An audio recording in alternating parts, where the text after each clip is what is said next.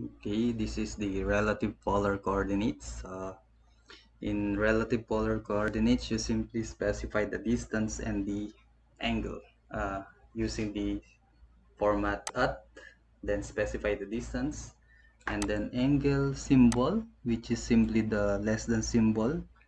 Okay that is shift plus comma in the keyboard and then you specify the angle angle value without the uh, degrees sign okay? So before we proceed with that you should be familiar with the angle. In AutoCAD okay the positive x-axis is the reference uh, angle which is zero degrees and then counterclockwise uh, we read those angles are as positive okay? If you want to use the clockwise direction. So this is still the reference axis. So if you're going to the counterclockwise a clockwise direction this is negative 45 degrees negative 90 and so on okay? But then I refer to the positive okay? So similar procedure use manual method okay? To invoke the manual method pressing the F12 key will help you okay? So for this particular figure point A is specified on this corner then B C D and point E and then closing the figure okay? Distance between A and B is 40 distance between B and C is 40 again. C to D 60 and D to E is given uh, 60 degrees. So I have provided you the procedures okay? And in the command that should be similar to this one okay then you should practice it to build your own confidence. Okay? Let, let us try it with the AutoCAD itself okay? So I'll invoke the line tool. Then specify the first point at 100 and 10 okay? So specifying the first point it is always in absolute coordinate format. Okay? 100 comma 10 that is at point A. Okay now uh, from A to B okay? So the distance is 40 okay? So A is your origin. So this positive X so that gives lead us to a 180 degrees angle okay? Or you can uh, use the clockwise direction. That is a negative 180 okay?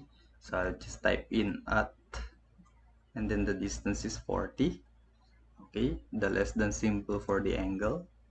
And then that is a 180 degrees okay? So I'll just type in at distance and then the angle symbol followed by the corresponding angle okay? Which is 180 and then I'll press enter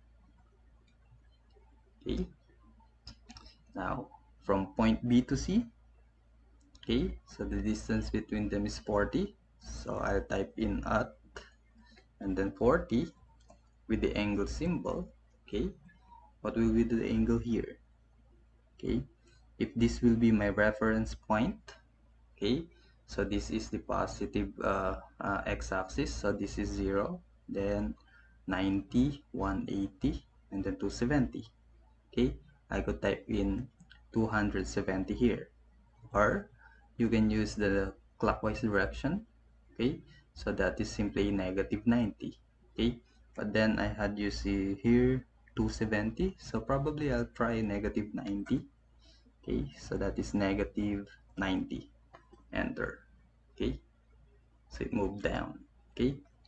Now at point C to D okay that is uh, a distance of 60 what angle should I have okay 0 okay? Or you can use 360 degrees. So let's try at sign then then 60 angle symbol then 360 okay? So if you're going to use this one 270 and that comes back to 0 which is 360 degrees okay? Now for D to E so that is a vertical so going up so that is simply at then 60 angle of 90 or if you want that could be a negative 270 if you want the clockwise direction okay? And then I'll just close the figure type in C then enter okay